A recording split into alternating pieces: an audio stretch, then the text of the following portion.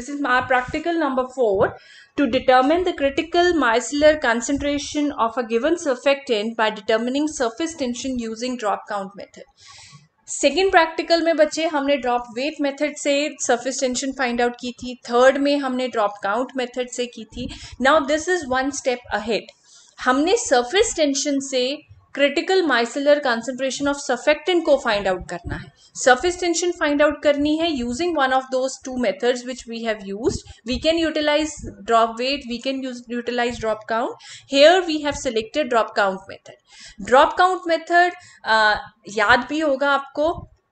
स्टेलेग्मोमीटर को हमने फिल करना है अपने सैंपल के साथ. From the marking A till the marking B हमने दो ऑब्जर्वेशंस रिकॉर्ड की थी। फ़र्स्ट हमने रिकॉर्ड की थी नंबर ऑफ़ ड्रॉप्स सेकेंड हमने रिकॉर्ड की थी उन सारी ड्रॉप्स जो हमने ग्रेविटी बॉटल में कलेक्ट की हैं, उसका क्या वेट है। Using the number of drops and the weight of drops, we have calculated the surface tension. In this practical, we will perform the similar experiment. हमने वैसे ही surface tension अपने given samples की utilize uh, find out करनी है using those surface tension readings, we will further find out the critical micellar concentration of surfactant. I hope the aim is clear. So first, I will give you a brief background कि what are surfactants and what is this CMC.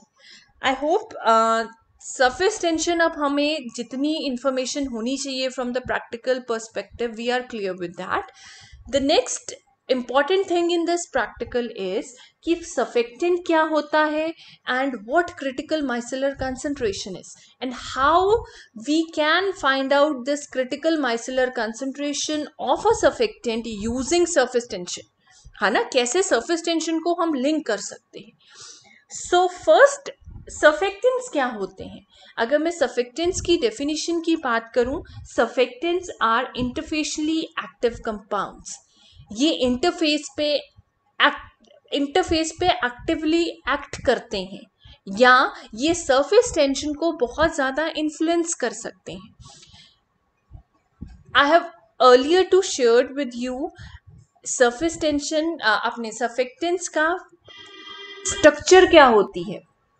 If you look at this figure the figure number one this is the figure of a surfactant molecule surfactant molecules के दो ends होते हैं। एक उसकी hydrophobic tail होती है। This red colour tail is your hydrophobic tail which is water hating और oil loving lipid loving ठीक है? This blue colour head is your hydrophilic head which is water loving head that means in one molecule, you are having two different types of, you, or two different natures of ends. एक वो होगा जो water hating होगा water को prefer नहीं करता होगा, और इन अदर वर्ड्स लिपिड को प्रेफर करता होगा, जो आपकी रेड टेल है, वो जर्नली टेल होगी, क्योंकि हमारी कार्बन बैकबोन की वो स्ट्रक्चर होती है। एक एंड होगा जो हमारा वाटर लविंग होगा, जो डायरेक्टली और जो इंटरैक्ट करता होगा हमारे पोलर सॉल्वेंट्स के साथ। ठीक है बच्चे? This end is lipid hating and ठीक है बच्चे? क्लियर है यहाँ तक? जो सफेक्टेंट्स होते हैं, उनकी जो क्लासिफिकेशन होती है, वो जनरली हम हाइड्रोफिलिक हेड के अकॉर्डिंगली करते हैं। फ़र्स्ट टाइप ऑफ़ सफेक्टेंट्स वो होंगे जिनके हाइड्रोफोबिक हेड पे पॉजिटिव चार्ज है। ठीक है Raje? Second category of surfactants वो होंगे जिनके हाइड्रोफोबिक हेड पे नेगेटिव चार्ज है। थर्ड वो सफेक्टेंट होंगे जो हमारे both positive and negative charge on the hydrophobic end they can attain both the negative and the positive charge they are called zwitterionic ठीक है? ये तीनों कैटेगरीज हमारे आयनिक सर्फेक्टेंट्स के अंदर आती है। सो फ़र्स्ट क्लास इज़ हमारे are ionic surfactants under ionic surfactants we can have positively charge we can have negatively charge and we can have both positive and negative charge which is called the zwitter ionic form ठीक है? ये जो ionic form है ये basically क्यों है? Because the hydrophilic head of my surfactant is charge ठीक है? पॉजिटिवली में it is positively charge negatively में it is negatively charge zwitterionic में it can attain both a positive and a negative charge second class is your non ionic ionic अगर charge है तो non ionic क्या होगा? जिसके polar head पे कोई चार्ज नहीं। So surfactants are my interfacially active compounds. They can be ionic or non-ionic. Ionic can further be positively, negatively or zwitterionic. Next, हमारे जो surfactants हैं the surfactants are absorbed preferably at the interfaces where they find the energetically most favorable condition due to their two part structure जब भी हम for example, here I am having this blue colored liquid as my water. अगर मैं water में मेरे surfactant molecule को add करती हूँ, वो instead of going into the bulk of my water वो कहाँ अपने आप को अरेंज करेगा? ऑन द सरफेस ठीक है बच्चे? अब सरफेस पे मेरी वाटर मॉलिक्यूल के सरफेस टेंशन लगी हुई थी। ठीक है? सरफेस टेंशन हमें पता है दैट इज़ एक इनवर्ड पुल के ऑपोजिट जो हमारी फोर्स लगी हुई है, जिसने स्ट्रक्चर जो सरफेस की शेप को मेंटेन करके रखा हो। एक फोर्स लगी हुई थी सरफेस पे, जिसको हम सरफेस टेंशन कहते थे। उस फोर्स उस सरफेस टेंशन के बीच बीच में you are having surfactant molecules जिसने अपने आप को according to the nature of the solvent अपने आप को अरेंज कर लिया। Here because I am having water as my solvent so polar head मेरे वाटर मॉलिक्यूल में डिजोल्व हो जाएँगे। नॉन पोलर टेल ऊपर आपके एटमोस्फियर uh, में अलाइन हो जाएँगे। एक टेंशन लगी हुई थी सरफेस पे जो जगह जगह पे you can say that tension is restricted और यू कैन से कि ब्रेक हो रही है वो tension at different different places because of the presence of your surfactant molecules so you can say on addition of a surfactant into a liquid surfactant की addition क्या कर रही है? वो आपकी सर्फेस टेंशन को रिड्यूस कर रही है बिकॉज़ एक नॉर्मल टेंशन जो सरफेस पे थी, वो रिपीटेडली ब्रेक हो रही है डिफरेंट डिफरेंट पोजीशंस पे because of the presence of surfactant molecule on the interface ठीक है बच्चे? I hope this much is clear with you next now the next step is अब हमें पता है सफेक्टेंट क्या है and how the addition of a surfactant into a solution changes the surface tension next होती है कि what is critical micellar concentration before going to what critical micellar concentration is, i just want you to know कि एक term होती है जो हमने पहले भी बात की है माइसल्स माइसल्स क्या चीज़ होती है? वॉट हैपन इनिशियली जब आप एक लिक्विड में फॉर एग्ज़ाम्पल वाटर में सफेक्टेंट डालना शुरू करते हो तो सफेक्टेंट अपने आप को इस तरह से अलाइन करते हैं कि वो आपकी सरफेस को ऑक्यूपाई करना स्टार्ट कर देते हैं। जैसे जैसे आप सफेक्टेंट ऐड करते रहोगे look at this particular figure इस फिगर को देखो। ये आपका नीचे ब्लू कलर का वाटर है।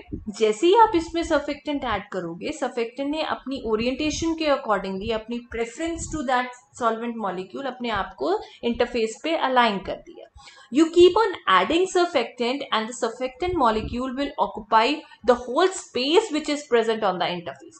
Interface और surface पे जो भी space होगी वो उसने occupy कर ली A time will reach when there is no more space to adjust the new addition of surfactant. जो आप new surfactant add कर रहे हो उसको adjust करने के लिए इस surface पे कोई और place आपके पास available नहीं तब क्या होगा सफेक्टेंट की प्रेफरेंस है कि वो सरफेस पे रहे बट अगर सरफेस फुली ऑक्यूपाई हो गई then surfactant has to go into the bulk अगर वो हम ऐड कर रहे हैं अपने लिक्विड में, उसको बल्क में जाना पड़ेगा।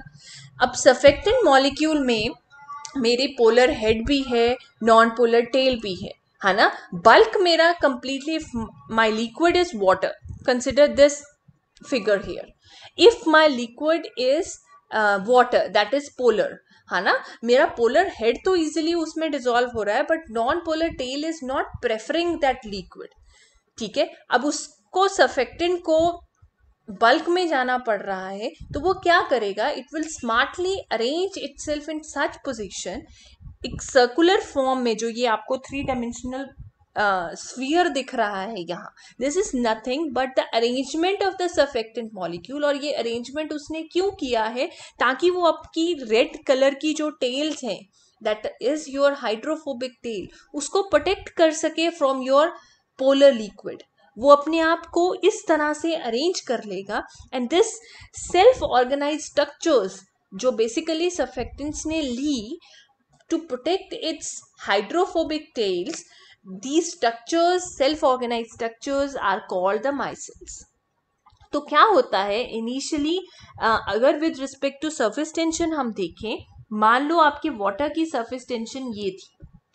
this is my graph where on the y-axis I am having surface tension on the uh, x-axis I am having log surfactant concentration that means as I go to this x-axis my surfactant concentration is increasing ठीक है मैं surfactant ज़्यादा से ज़्यादा add कर रही so initially at zero surfactant concentration जो मेरा ये पॉइंट है at zero surfactant concentration my surface tension is this ठीक है बच्चे?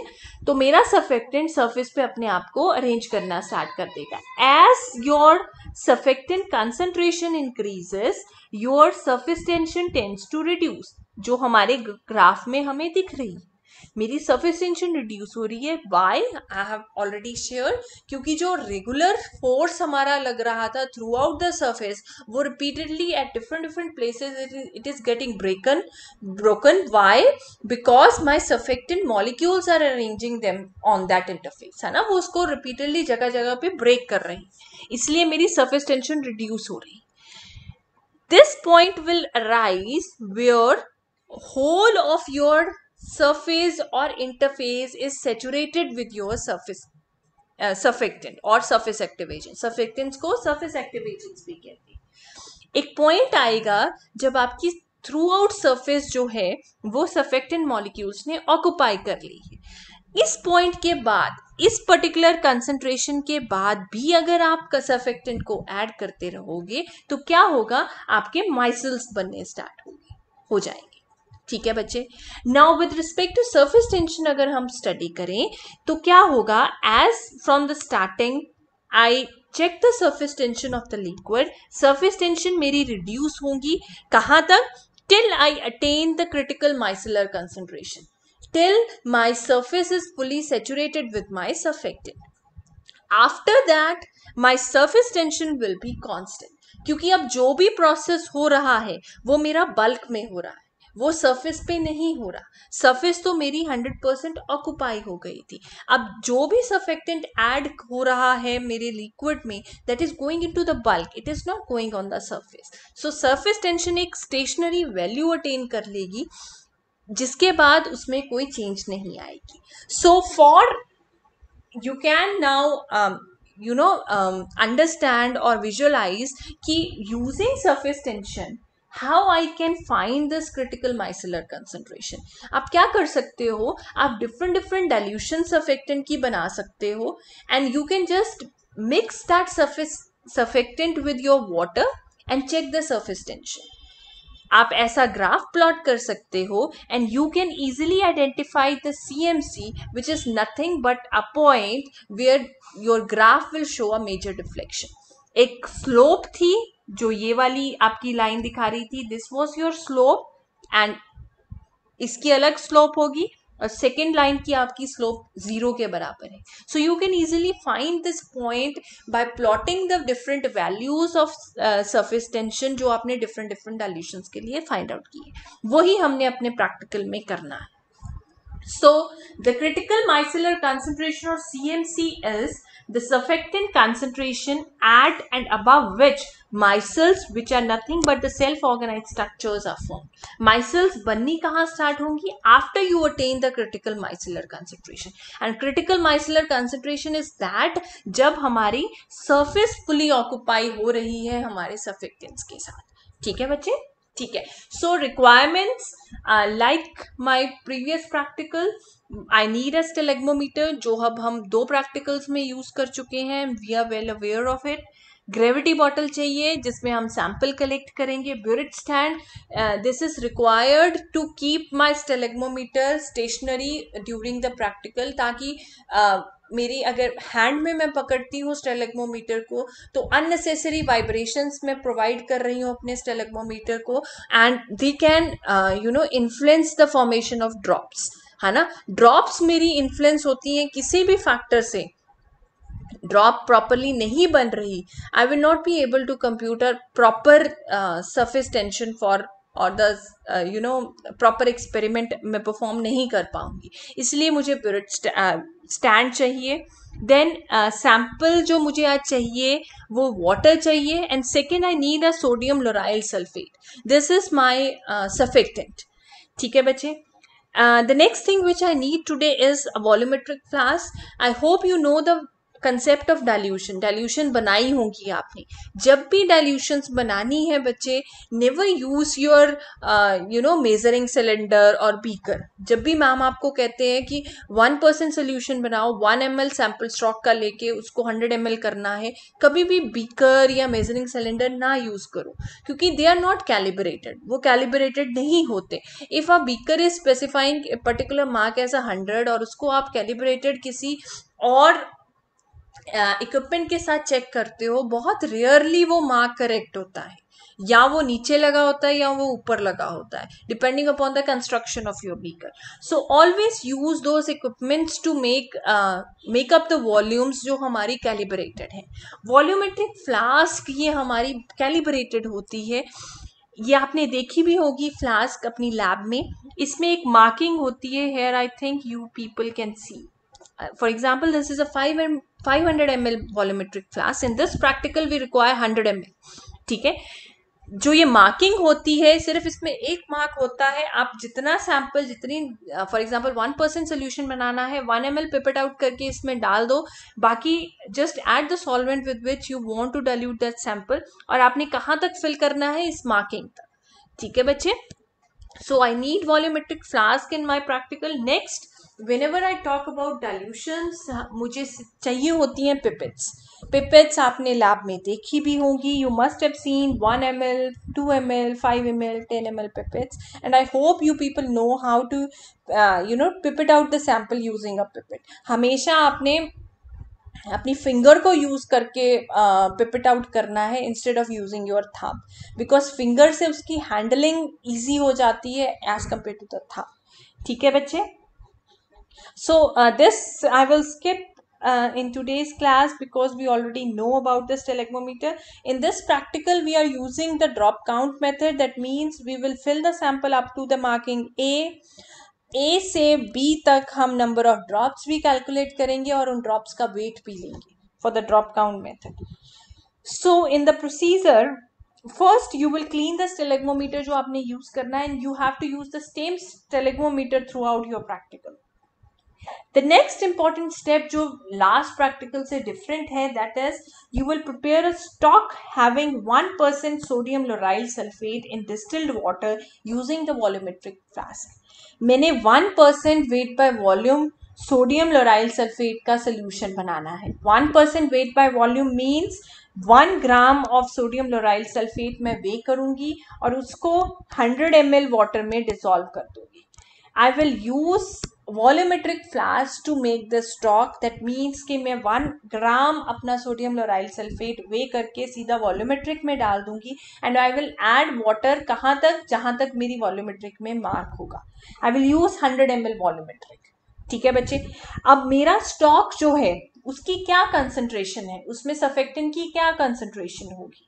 One gram in hundred M L I can write this or what I can write? I can write 1000 mg पर 100 ml क्योंकि एक ग्राम में मेरे कितने एम होते हैं? थाउज़ेंड एम होते हैं। मैं लिख सकती हूँ thousand M per hundred M और what it can be ten M per M और मेरा जो स्टॉक है, उसकी क्या कंसंट्रेशन है? 10 mg per ml. अब मेरे पास एक स्टॉक है जिसकी ये कंसंट्रेशन है. Now I will make the dilution because मैंने इस तरह का कर्व बनाना है अपने प्रैक्टिकल में. Where I will get the surface tension using the drop count method I have to you know make different different dilution जिससे मैं अपनी एक्स एक्सिस को प्लॉट कर सकूँ. तो मुझे अपने स्टॉक में से कुछ सैंपल लेके डिफरेंट डिफरेंट डायल्यूशन बनानी है यहाँ पे।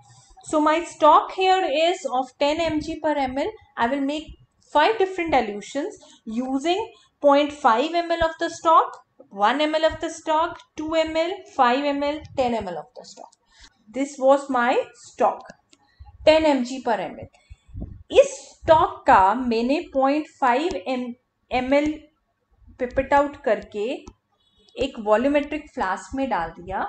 And I have made up the volume 200 M L using water ठीक है? Now what is the concentration of your sodium lauryl sulphate in this first dilution this is my dilution number one मैंने क्या किया? ये stock बनाया हुआ था। इसमें से 0.5 five M L pipette out करके I have made up the volume 200 hundred M L now what is the concentration of my surfactant in first dilution एक एमएल में बच्चे मेरे 10 एम था स्टॉक में। तो 0.5 फाइव एमएल में कितना होगा? In 0.5 five ML of my stock I will be having 5 mg ठीक है बच्चे? क्लियर है? Now this 5 mg is the only surfactant which I have added in my dilution 1 और जिसकी मैंने कितनी वॉल्यूम कर दी 200 ml मैंने डाइल्यूट कर दिया so that concentration in my dilution 1 is 5 mg per 100 ml ठीक है बच्चे मेरे 100 एम में सिर्फ़ 5 एम जी सफेक्टेंट प्रेजेंट है और what I can write 0.05 mg per ml this is the concentration of my dilution number one now if i talk about एक और example दे देती हूँ dilution number two in which i have taken 1 ml of my stock मैंने अपने stock का 1 ml लिया similar to what I have done in dilution one मैंने one M लिया और वॉल्यूमेट्रिक में हंड्रेड एमएल उसको डाइल्यूट कर दिया। Then what is the concentration of my surfactant in my dilution number two अगर आप वन एमएल ले रहे हो स्टॉक का दैट मीन्स वन एमएल में आपके कितने हैं? कितने सफेक्टेंट है? कितने एम जी सफेक्टेंट है? टेन एम जी सफेक्टेंट है? You are diluting this 1 ml to 100 ml that means the concentration is 10 mg per 100 ml or in other words what you can write 0.1 mg per ml this is your dilution number two. On similar lines you can find out what is the concentration of your dilution number 3 which contain 2 ml of your sample. What is the dilution of uh, dilution number 4 in which you have 5 ml of your stock and 10 ml of your stock आपको different different concentration मिल जाएँगे। ये concentration find out करनी important है because I know I want to have different readings for my x-axis. Procedure is same to what you have done in your practical number three. Take an empty gravity bottle, empty gravity bottle लो उसको weigh करो।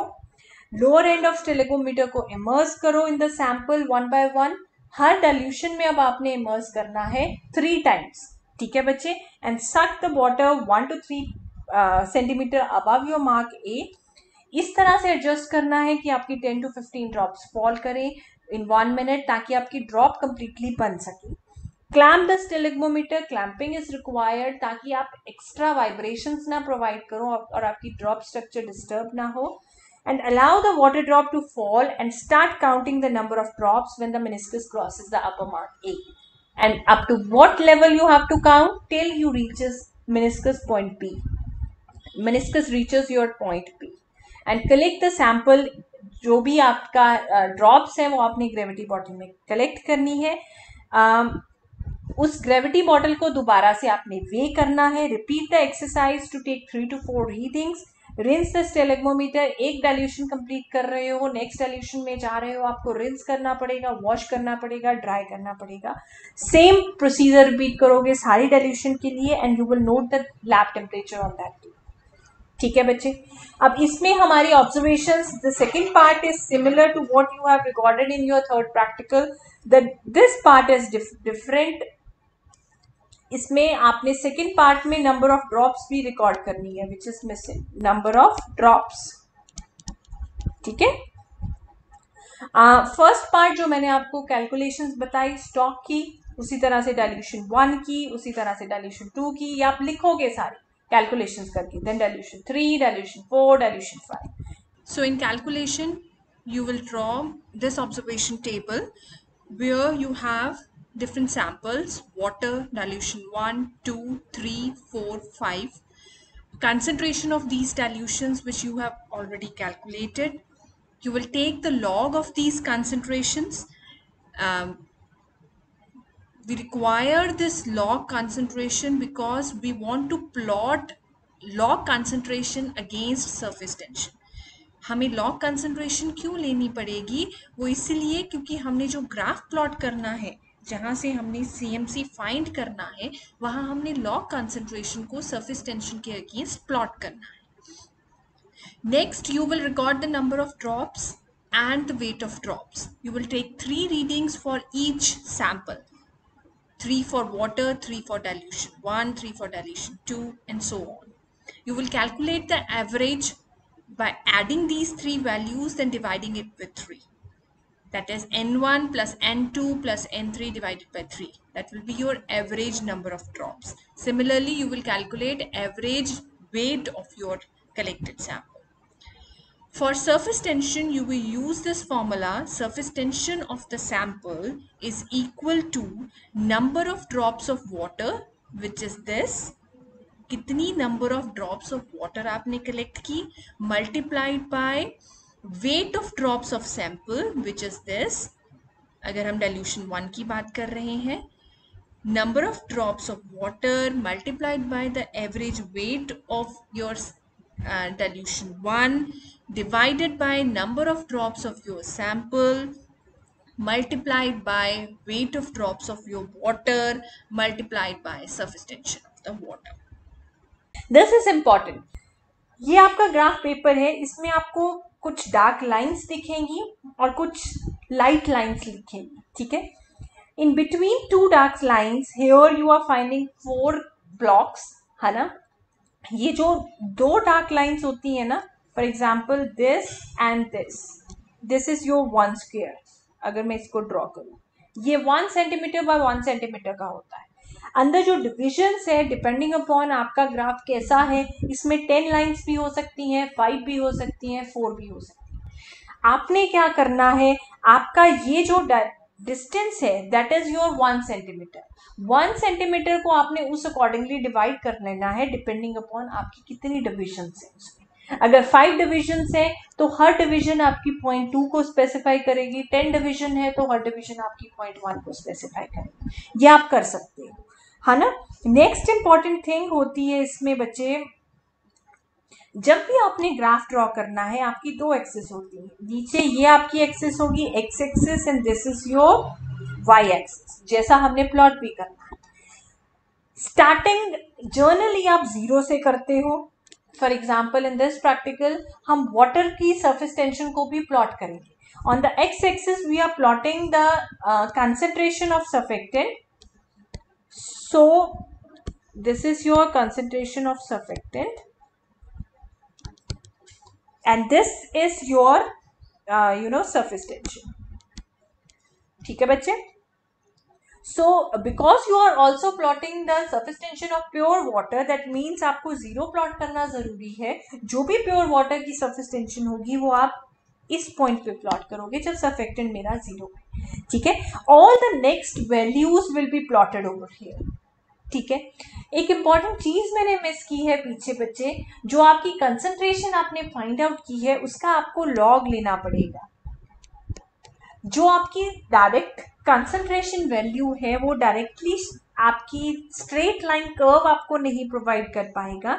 जब भी readings आपकी बहुत ज़्यादा segregated हो ना फॉर एग्जांपल इस तरह की रीडिंग्स आपको पाँच वैल्यूज़ की मिल रही हैं। And whenever you find कि आपकी वैल्यूज़ बहुत segregated and you are not able to draw straight line out of it just take a log हमेशा लॉग लोगे तो ये जो आपकी सेग्रीगेटेड रीडिंग्स हैं, इनमें बफरिंग एक्शन होगा, आपकी रीडिंग्स में बफरिंग हो जाएगी and those readings will somewhat approach over here वो आपकी नज़दीक नज़दीक आ जाएँगी. And it will be easier to draw that straight line instead जब आप विदाउट टेकिंग लॉग परफॉर्म कर रहे हो. ठीक है बच्चे? So here you have to take a log out of your you know, readings. So this is my y-axis this is my x-axis and i'm starting my value from 0 for example i'm taking a hypothetical value for example i'm taking this as 0.1 this as point two this as point three अगर आपने specify कर दिया कि between two dark lines your distance is point one मतलब one centimetre मेरा point one के बराबर है तो वो थ्रू आउट स्केल पे उतना ही चलेगा। ऐसा नहीं होगा कि आपकी एक रीडिंग पॉइंट वन पे है, दूसरी पॉइंट टू पे थी नेक्स्ट आपकी पॉइंट फोर पे थी। So you are take missing your point three and you are writing here point four ऐसा नहीं होगा। पॉइंट फोर की जहाँ उसकी बारी आएगी, वहीं पे पॉइंट फोर आप लिखोगे, किसी वैल्यू को आप मिस नहीं कर सकते। So always select your scale wisely ताकि आपकी सारी values for example here you are having one S point one second S point two third S point four next आपकी पॉइंट एट थी और एक वन भी थी।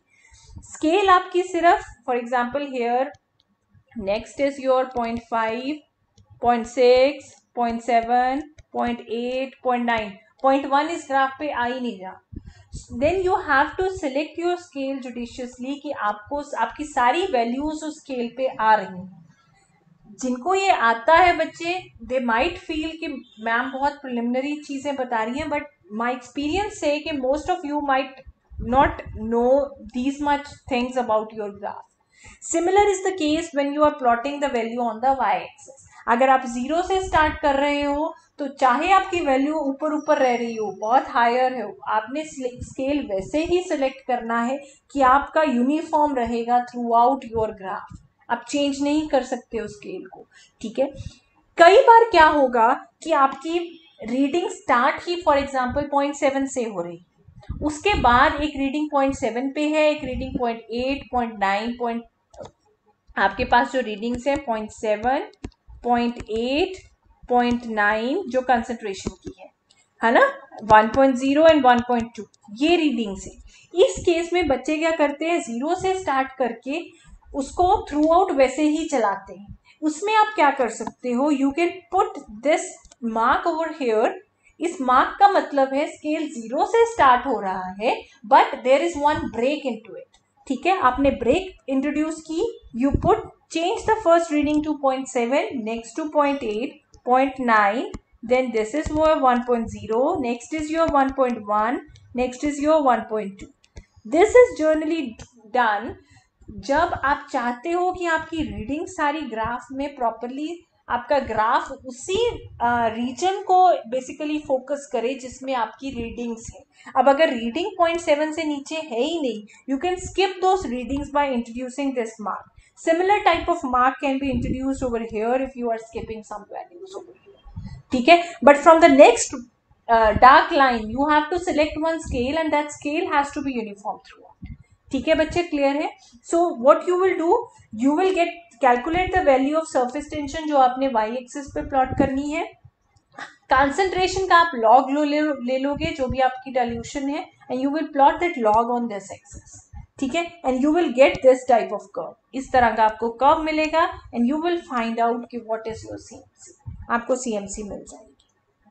सो योर रिज़ल्ट से the CMC of the given surfactant was found to be dash जो भी आपकी होगी the units are wrong this will be your concentration जिस यूनिट में आपकी कंसंट्रेशन होगी, वही यूनिट्स लिखोगे at 25 degree Celsius sources of error मैं रिपीट नहीं करूँगी. This you can write down कि आपकी क्या क्या सोर्सेस ऑफ़ एरर हो सकती हैं depending upon what you understand about the reference you can note down the reference from here और you can if you feel like you can browse your internet don't write the stuff which is present in your Wikipedia उसके अलावा जो भी information आप internet से find out कर सकते हो वो आप लिख सकते हो and in the reference section just add the website address जो भी वेबसाइट का एड्रेस है फुल स्टॉप एक्सेस्ड ऑन किस दिन आपने एक्सेस की, उसकी date for example nine nine twenty twenty